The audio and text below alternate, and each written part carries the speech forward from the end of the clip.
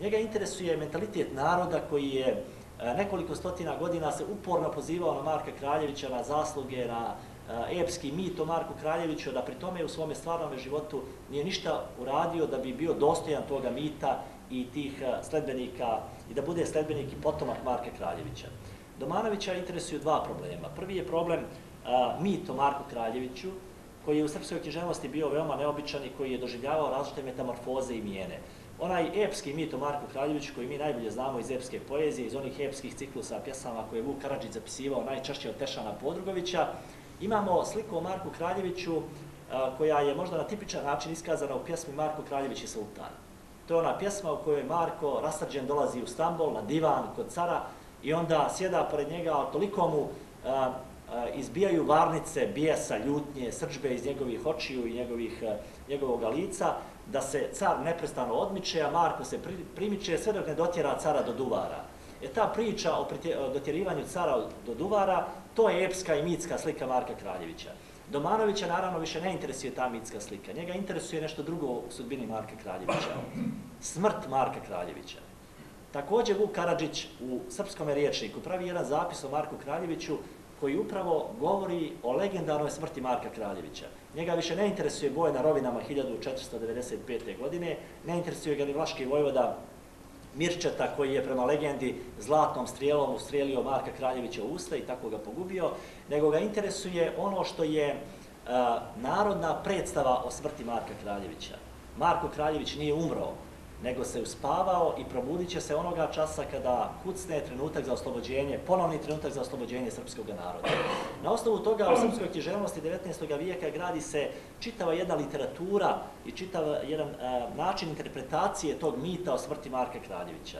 Na primjer, pominjan Jovan Sterija Popović je napisao 1848. godine tragediju pod naslovom Sam Marka Kraljevića u kojoj je upravo interpretirao i pokazao kako se taj mit o tome da se Marko Kraljević uspavao i da će se probuditi jednog dana kada kucne čas za oslobođenje srpskog naroda, kako se taj mit obistinjuje.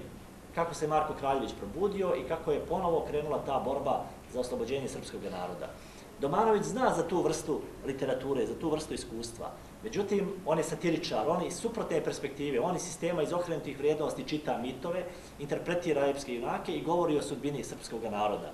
Njega više ne interesuje to kako i na koji način će Marko Kraljević da se probudi. Zašto će on da se probudi? Nego ga interesuje da e, buđenje i povratak Marka Kraljevića među Srbe iskoristi za e, novu e, karakterizaciju, za slikanje mentaliteta srpskog naroda nekoliko stotina godina poslije Marka Kraljevića. Kako i na koji način počinje ta priča? Tako što na nebu Marko Kraljević moli Boga da ga ponovo vrati među Srbe, da im pomogne i da ih oslobodi od Turaka. Zato što nekoliko stotina godina kukaju Srbi za Markom, kuku Kosovo, kuku Marko, vrati se Marko, pomozi na Marko, gdje si Marko i tako dalje. Bog mu savjetuje blagonaklono da se ne vraća jer ne zna šta će ga dočekati na zemlji, ali Marko insistira na tome i kreće njegova avantura povratka ponovnog povratka Marka Kraljevića među Srbe. Domanović je kao pripovjedač bio majstor lančanog povezivanja komičnih epizoda. Ova pripovjetka o Marku Kraljeviću, možda pored pripovjetke Stradija, najbolje pokazuje kako je on gradio tu lančanu kompoziciju i kako je on stepenasto vezivao različite epizode iz života svakoga junaka. Marko Kraljević odmah po dolasku na zemlju se suočava sa, nečemu, sa nečim što se zove komika razlika.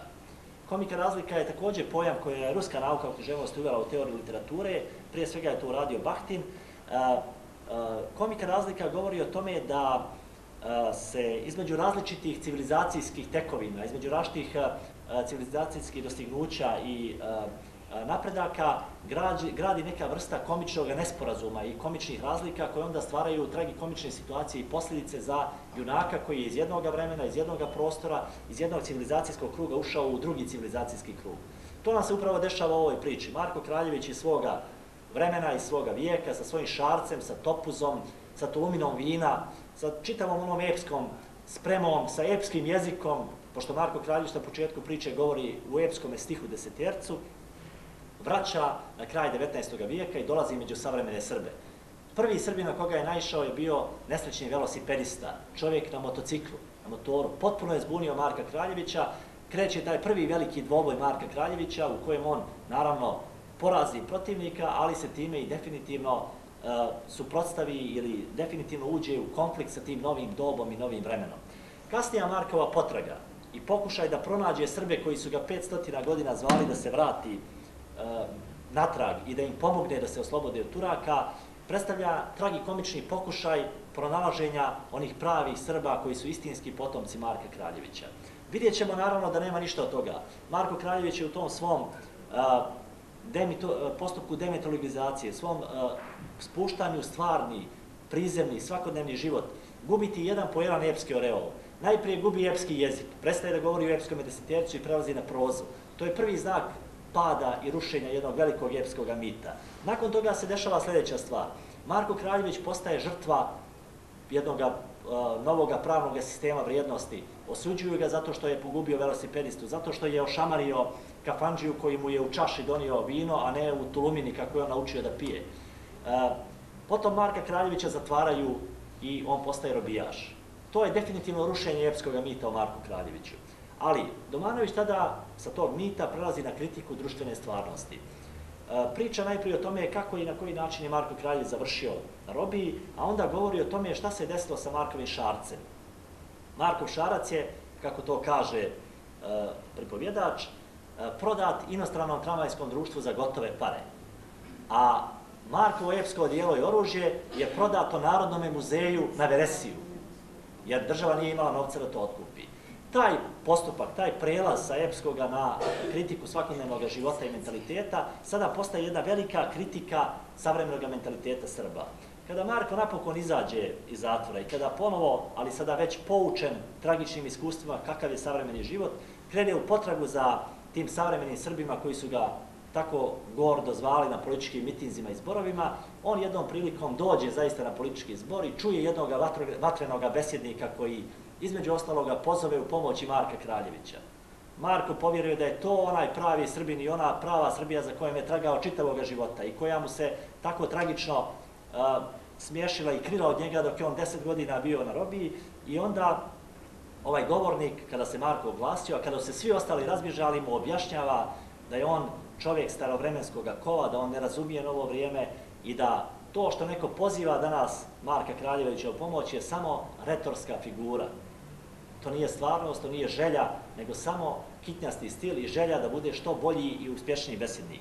Naravno da je to rušenje mita o Marku Kraljeviću sa jedne strane i sa druge strane potpuno razobličavanje mentaliteta savremenog srpskog doba e, dovedeno do kraja. Ali Domanović kao pravi satiričar, kao pravi majstor groteskne fantastike, čitavu, čitavoj priči daje još jednu satiričnu poentu.